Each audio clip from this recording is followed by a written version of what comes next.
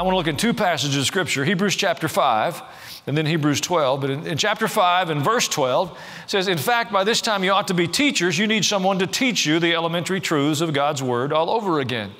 You need milk, not solid food. The purpose of being Christ followers is to be able to communicate to others the truth that you know about Jesus. We're not just perpetual students. The, the purpose of learning is so that others can know. You'll never learn something better than when you're preparing to give it away to somebody else. If you could explain it, you understand it. If you can't explain it, you don't really know what you're talking about. Verse 13 Anyone who lives on milk, being still an infant, isn't acquainted with the teaching about righteousness. But solid food is for the mature, who by constant use have trained themselves to distinguish good from evil.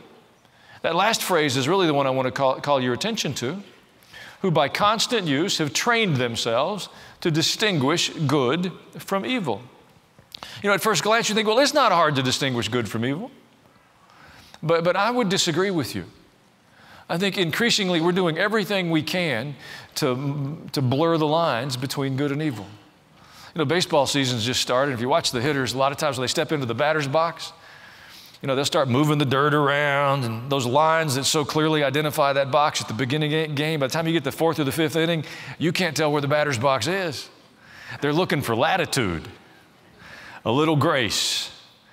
Then I would submit to you, we're living in a season when there's a lot of effort being made to blur the lines.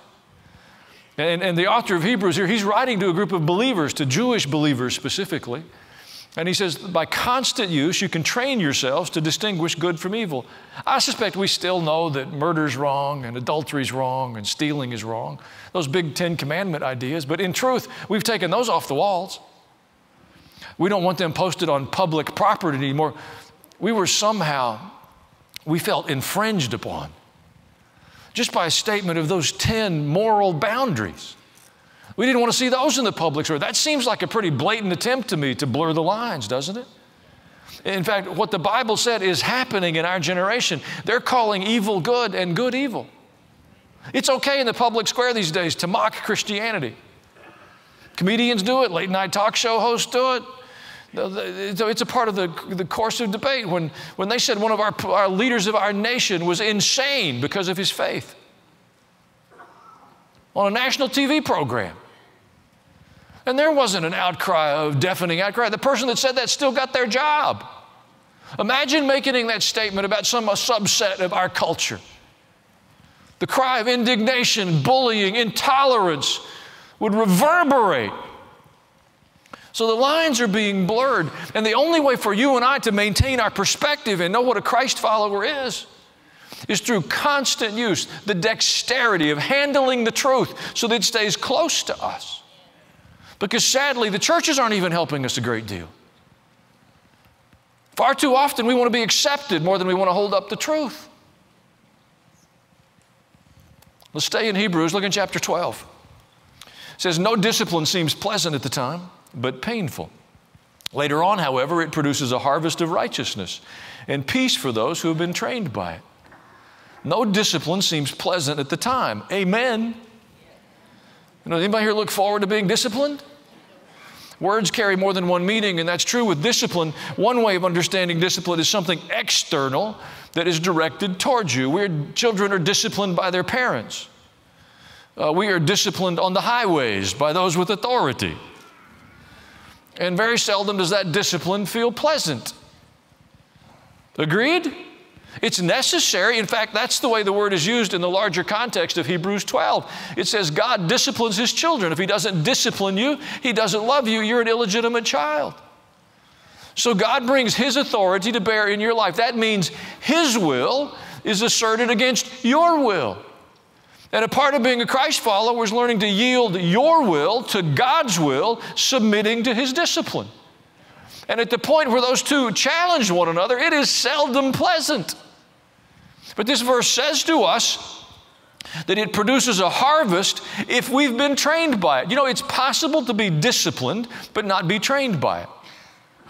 You ever gotten more than one speeding ticket? Don't raise your hand because I don't want to raise mine. We weren't disciplined by it, were we? We just said, well, I got caught once, maybe I'll be more fortunate the next time. Boom! We have to choose. You can be disciplined and still stand in rebellion and be completely unchanged by it. Now, there's another definition of discipline that's equally helpful, and that's internal. We choose to discipline ourselves. We submit ourselves to discipline. We call it self discipline. But you need both sides of that definition to get the full meaning of that word discipline. We will yield to the authorities beyond us, and then we will make the choices ourselves to discipline ourselves, to say no. We have to say no to ourselves. Happiness does not come from greater license. The truth is, when we submit to God's discipline and we become disciplined individuals, our joy and fulfillment and contentment in life goes up. It's not pleasant in the moment, but the outcomes are amazing. So we began our year with this, these 10 ideas, these 10 statements of intent. And they had to do with orienting our lives towards the Lord in a season. It was a season of training. We said we'll submit to this discipline for a season so that we'll be prepared 100 days from now to cooperate with the Lord, to receive from the Lord, to recognize the Lord in ways that we couldn't 100 days ago, no matter how sincerely we tried. Now, the intent is important because if you don't hold the intent, it's highly improbable you'll have the outcome. I love this time of year because I love summer vegetables in Tennessee. I love those fresh summer tomatoes and the green beans and the new potatoes and the squash and the corn. I'm getting hungry. All right? But you know, those things don't happen automatically. They don't come from Kroger, not originally, or Publix. If you want those in your backyard, you actually have to turn the soil and plant the seeds and hoe the weeds and water the plants. And you have to have the intent. You can't sit in the house and say, I'm a godly man, I got a garden. No, you'll be a hungry, godly man. and, and so many of the best things of God require an intent on your part or mine to have the outcome. And that's what these 10 statements are about. I want to walk back through them with you really quickly. I suspect they're familiar to many of you. Many of you have been living with them. The first one says, I intend to read through my Bible this year. I'm going to read my Bible every day, 10, 15 minutes a day. We'll be through the whole book this year. We started in January with the New Testament, and we finished the book of Revelation before Easter. We blew through the whole New Testament in under 100 days. How many of you read the New Testament with us? Awesome. That is amazing. Thank you for that. What were the rest of you doing? reading online news reports. No wonder you're depressed. 15 minutes a day, you can read through the whole Bible. Now, here's the challenge we face you finish the New Testament. That means next is the Old Testament. and you've read the important part, right? I mean, you read the Jesus story. You got him out of the grave. I'm kind of, you know, I don't know if I want to do that or not. It's summertime. Folks, the New Testament makes no sense without the Old Testament. I promise you, the value, the significance, the weight of what you just read will, will multiply exponentially as you read through the Hebrew Bible. So don't lose your courage. Come on, go with us. We're going to work on that a little bit before we go. We're going to read through our Bible this year. Number two is we're going to pray every day. Every day we're going to say a prayer. We're going to become a people who pray. Never again will we say, well, you know, I don't pray much, Pastor. I'm not a prayer. We're done with that. That is not an excuse we use anymore. We pray every day. Every cotton picking day, we offer a prayer to the Lord. If your head hits the pillow at night and you haven't prayed, get up. None of those lazy, horizontal, one eyed prayers. now I lay me down to. If you hit the pillow at night and you haven't prayed, hop up. Stand there beside the bed, raise your hands. God, thank you for this day. You gave me the strength to get through another one. Help me to sleep well. I want to serve you tomorrow. Good night. Boom. Every day you say a prayer. Every day. Then the third one, we said, I intend to honor God in my home. I am going to honor God in my home. I'm not just going to church and sit there and sing along and stand up and nod at the appropriate points in the sermon. I am going to, in my home, the hardest mission field in the world is your home. I get on a plane and go to Africa and I am Billy Bad for Jesus because all they know me is in a very limited context. Standing behind a podium, got my Bible open. You know, they think I act like that all the time. The people that live with me, we're going to honor God in our homes. Let's stop complaining because they can't honor God in the schools. Let's let God be so honored in our homes that even our kids won't understand why we can't do it at school.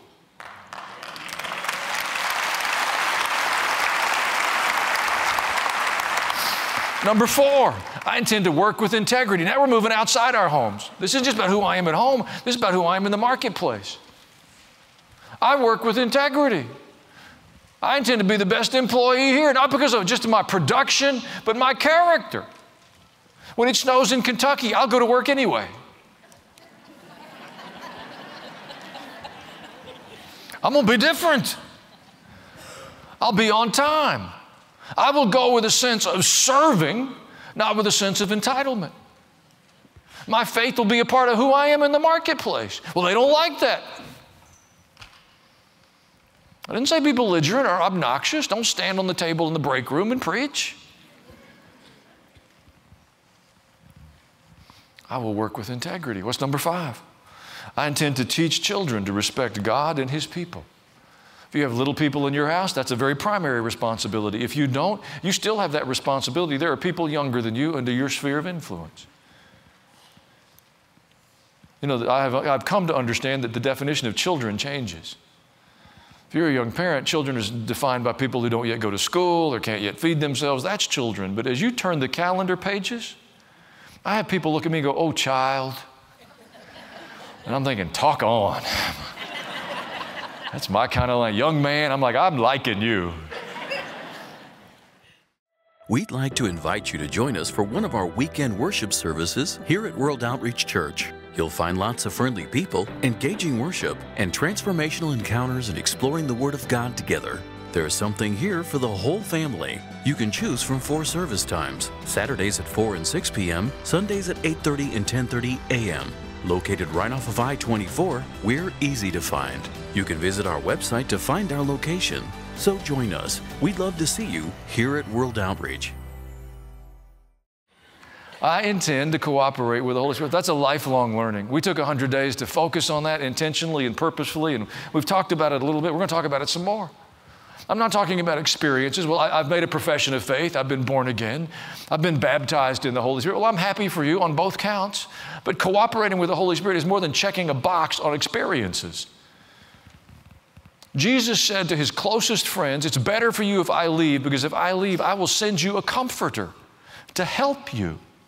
Now, if Jesus thought his absence was going to improve the quality of their spiritual journey, just perchance you and I should pay attention and start to say, Holy Spirit, you're welcome in my life. I, I, find that because of a whole lot of reasons, we tend to talk about the Holy Spirit with limiting terms. Well, I'm willing to cooperate with the Holy Spirit, but I'm not going to whatever. I got news for you. He won't bother you. He only comes where He's welcome. And we haven't been the most welcoming people. Imagine you go for a job interview. You want the job. You really want it. And you go in for the interview and say, Listen, I'd love to work here, but I want to take you to the friend. I'm not gonna. Whatever comes out after that is putting that job and you further and further apart. Agreed? And yet we treat the, the Spirit of the living God like that. I want to make a suggestion. Just begin to say to the Holy Spirit, I want to cooperate with you. Help me to recognize your voice. I will give up my dignity to cooperate with you. I didn't say the Holy Spirit's undignified, but sometimes we're more concerned what would people say? May I, may I, have an announcement. They're talking about you already. there is somebody talking about you. And if they talk about me because I'm cooperating with the Holy Spirit, I am way good with that. In fact, I hope they are talking about me and you because we're cooperating with the Holy Spirit so much. Y'all are a little slow to warm up today. Number eight, you'll love this one. I intend to tithe. You knew I was going to get around to your money, didn't you? it's important. Tithe means a tenth. The first tenth of what you receive is the Lord's, it isn't yours. We bring that to the Lord. That's not even our expression of kindness and benevolence and generosity. I think that first 10% belongs to the Lord. My benevolence and my generosity comes after that. That first tenth, not mine. That's not mine to broker. That's not mine to do something with. That's God's. Why? Why? Well, the Bible says that everything is the Lord's. and He entrusts it to us as stewards. But we have to learn to be generous. It's not an intuitive position. Now, I'll tell you why it matters. When everything's working and the economy's roaring and the world is stable, maybe you could imagine a future where you could stabilize your own life. But, folks, the world we're in isn't so stable, and the things around us are pretty shaky. And you want the help of Almighty God to secure your future. And if you haven't invited Him into the resource part of your life, if you've said, This is my business and none of yours, then you don't have God's help to stabilize you. I don't give to get, I give so God understands I am trusting Him with the full provision of my life. And I'm learning to say no to greed and envy and covetousness in me and learn to lead a generous life. Now, that is a learned behavior. And if you haven't learned it yet, when you begin it, it feels awkward.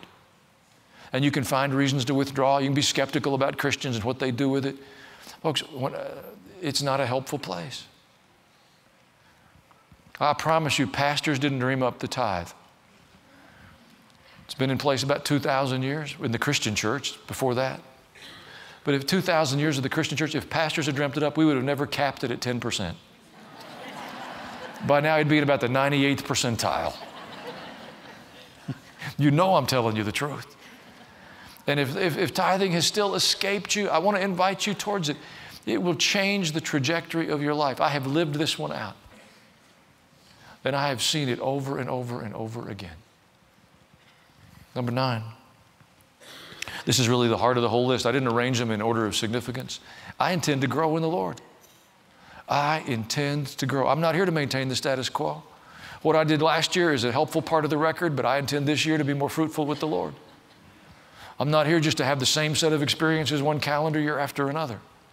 I intend to grow in the Lord. We've been doing this Bible reading while people are saying to me, Now, Pastor, I've read the Bible three times. More than one of you, Pastor, I have read it three times, cover to cover. What would you suggest now? Four times. Let me tell you, when you're done, you'll know when you're finished. When you can start with, in the beginning, God created the heavens and the earth, and you can recite it until you get to the Amen in Revelation 22. And I would really encourage you to go ahead and learn the maps too. But if you want to stop at the end of Revelation, you stop. When you've got it all inside of you, you just look for something else. Until then, I've been reading my Bible for a while. I'm, I'm embarrassed to tell you, I still read it and I'll think, read something, I'll think, somebody put a new page in my Bible. that was not there the last time I read it. I know it wasn't because I would remember. I mean, I'll meet characters I didn't know were in the story. Now that's embarrassing. I intend to grow in the Lord. And the last line is, is really an expression of help with that. I intend to say yes to godliness and no to ungodliness. Now, this isn't complex, folks. With my discretionary time, with my the, the, the, relationships, the friends that I can have, I get to choose to be around. I'm going to choose with my time and the people closest to me, people and opportunities that give momentum to godliness. And I'm going to stay away from places and people that diminish my enthusiasm for godliness. And if I'm going to have to hang out with somebody that diminishes that enthusiasm, I'm going to take a group of people with me to encourage me while I'm with that Debbie Downer. Because I don't need much help in saying yes to ungodliness. I have plenty of momentum on the inside of Allen with that all by myself. So once I've made that commitment, I am very I get very intentional about that. There are places I won't go because they don't help me with godliness. There's stuff I won't watch or read. There are people I don't intend to hang out with because they will not encourage me in my ungodly, my godliness. That doesn't mean I don't have friends that are ungodly. I do, and I'm grateful for their lives. But I am practicing. I want to say yes to godliness this year in ways I couldn't last year. And I intend to say no to ungodliness this year with a greater determination than I've ever said before. Now, that set of 10 things, again, no one of those is transformational. But I want you to imagine them as tools in a toolbox. And you need every tool. There are seasons and times when one tool will be more significant to you than another. But you want to have a comfort level, a familiarity, a dexterity with every one of those tools. They will change the momentum of your relationship with the Lord. Amen? Now, we're coming up to the end of this 100 days, but it doesn't mean we're going back to our zero position from December the 31st. We want to maintain the progress that we have made. We want to hold that ground. What's next? What's that looks like? What do we do? Do we need 200 days of faith? I don't think so. I think 100 days opens your heart to the possibilities of what would happen with focus. If you took a pass on this, maybe you want to pick it up now and take the next 100. That's okay. There's no secret in January, but the purpose of going being in training is to enable you to accomplish something that was previously not possible to you. The reason we train physically, the reason we will discipline ourselves financially, the reason we will discipline ourselves in any way is to achieve something at the end of that disciplinary period we couldn't have done at the beginning. And the same is true with spiritual things. So after you've trained, now you're prepared to try. You're ready to implement something. You couldn't do it. Well, I tried before, I couldn't, but I've trained for a season. Now maybe I can. I couldn't run a 10 minute mile 90 days ago, but I've trained for 100 days. Now I think I can. Maybe I can run a nine minute mile. I don't know, whatever your boundaries are. So after you've trained, you try. Now here's what will happen you won't succeed universally. There'll be some places you go, ah, it still doesn't feel good to me. Doesn't mean you're a failure. It means you've identified the limit of your training and where you can focus in the season that's ahead. If you prayed every day for 100 days, you should have a new boldness for let's pray. You're 100 days away from where you used to say, Well, I don't pray. Now you do. You've prayed every day. Now you could include somebody else in a prayer your husband, your wife, your kids, a neighbor, somebody. Maybe now you could pray twice a day. Ooh, you are fanatics. to your training and your effort, we, we have to add one more component, and that's sincerity. Sincerity, authenticity, they, they really go together. I've told you during the, the course of these days that sincerity alone is not adequate. Christians are offended by that oftentimes. They'll say to me, Well, Pastor, I, I sincerely tried. Well, I appreciate your effort, but your sincerity doesn't make any difference. If all you're bringing to the table is sincerity, if I need surgery and you love me and you have a sharp knife, I believe you would sincerely try to help me. But if it's all the same with you, I'll pass.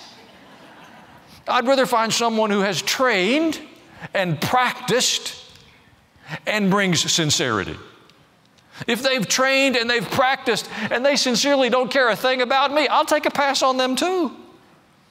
The best outcomes arrive when there's been training and there has been practice and there is sincere, sincerity or authenticity. You see, authenticity is about alignment between what you say and who you are. You can come to church and not be authentic. You can come to church and be present. Roll call taken. I was there. My heart was someplace else. My mind was someplace else. My passions were someplace else, but my body was there. Authenticity means you bring alignment to that. And what we want to add to our training now is the practice of what we have trained and to begin to work to become authentic in that. Now, that is a learned process. I have come, I used to come to church, but I didn't like Christians because I was more at home with unchristians. It's because there was more ungodliness in me than there was godliness. It was more familiar to me. There should be a little yellow light that flashes. If you are truly more at home and more comfortable amongst the ungodly than you are amongst the godly, it's not a condemnation, it's an awareness of what holds the majority position in your heart. Now, we're all in process of being transformed. There's no condemnation in that. It's an awareness of where you are. Training, trying, and authenticity. When we talk about growing in our faith and authenticity and what we believe, it always helps me to remember that the Holy Spirit is the one we depend upon. He's our teacher and our guide and our helper. We can invite Him in to help us see any place where there's inconsistencies. He will do that in a gentle way that brings us to a much better place. Let's pray before we go. Father, I thank you that you've called us And I pray that by your Spirit, you will, you will help us to see anything in us that hinders us from being what you've created us for. In Jesus' name, amen. God bless you. Join us every week for another exciting message from Pastor Allen Jackson. And until then, visit us online and discover remarkable information and resources to help take your Christian life to the next level. And when you visit online, consider joining our effort to continue sending this powerful and challenging message around the globe. We want to share this program worldwide, but we can only do it with your help. So consider partnering with us today. And if you're visiting the Nashville area, we'd love to see you at World Outreach Church in Murfreesboro. We're easy to find, so look us up when you're traveling through. And don't forget to connect with Pastor Jackson every day through social media. Thanks so much for joining us and being a part of this ministry. We'll see you again next time for another encounter with Pastor Allen Jackson. Hey, this is Pastor Allen. thanks so much for giving me just a moment of your time. I hope you enjoyed the video. If you did, I want to encourage you to do a couple of things. Give it a like, share it with your friends. Most importantly, subscribe. That way, when there's new content or a live stream, you'll be notified. I pray God blesses you in your spiritual journey. I'll see you soon.